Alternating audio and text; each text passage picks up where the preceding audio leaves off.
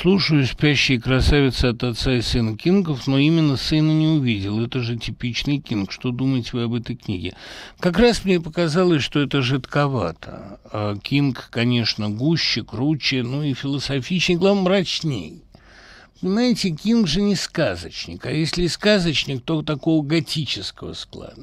Он действительно не, не любит хэппи-энд уверен, что мир лежит во зле.